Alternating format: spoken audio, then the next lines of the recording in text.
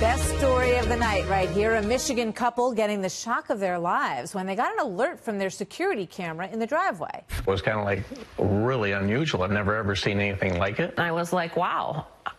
I mean, that is an angel. The photos are exactly how they were taken. I choose to believe it. I think it's an angel. Take a good look. Many, including their pastor, said that they believe this image, captured by a security camera, shows an angel hovering over the family's truck last week. So could it be? And in the next picture, I think we have it. It sort of looks like it has moved to a different part uh, of the of, over the truck. So joining me now is an expert, Pastor Don Piper, who has written about his own experience. He was in a terrible car accident, and he says he died and went to heaven and came back. He is the author of People I Met at the Gates of Heaven. Pastor Piper, good to see you tonight. Um, I'm pretty right. sure that you Thank believe you. these folks when they say that that's an angel, right?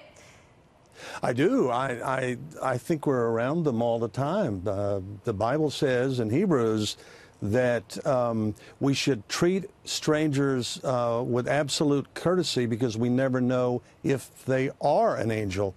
And what that says is we ought to probably treat each other better uh, as humans, but it also says that angels are everywhere, and we may not always know who we're talking to. It could be an angel flying above our truck uh, at any time, any place, anywhere. So this was a motion uh, activated security camera that they keep right. attached to their home to look out over their driveway and their car. So they yes. they believe that the motion of this angel that they feel they they saw is what set yes. off the motion detector and they were able to, to trap it on, on the video, which you can do if you if you have one of these cameras. And it is it's a Absolutely. very stunning, beautiful image that they got.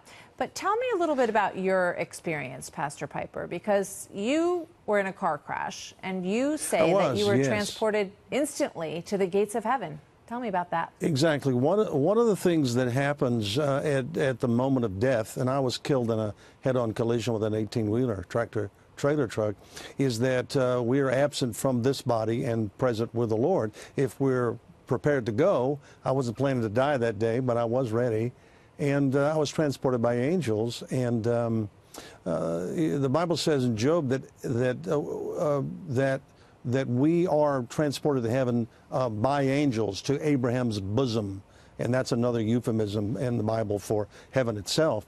So we go there by virtue of angels. A lot of people who are with someone who's dying feel like there's a presence in the room, and usually there is. And I arrived at the gates of heaven uh, and was greeted by people who helped me get to heaven, who preceded me in death. So I was surrounded by a lot of humans, but there were angels everywhere as well. And angels are not just little cherubs playing harps on clouds. These are robust, uh, amazing creatures. Some have six wings, some have four, some have two, some have none.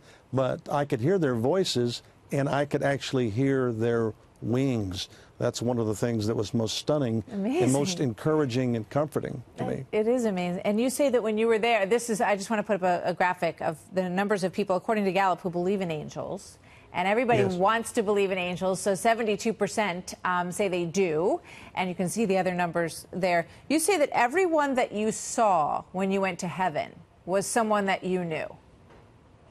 They were. Um, I think the people that I did not know in this life uh, were inside. They did not come out to greet me. I think the ones I greeted at the gates of heaven were the people who helped me get there, which, of course, when I came back, um, that motivated me all the more to try to get people into heaven because uh, I know those people helped me get there. And the question ultimately is, who are we, who are you going to greet? Who are we going to greet when we go there? I think it's going to be the people we helped uh, get there.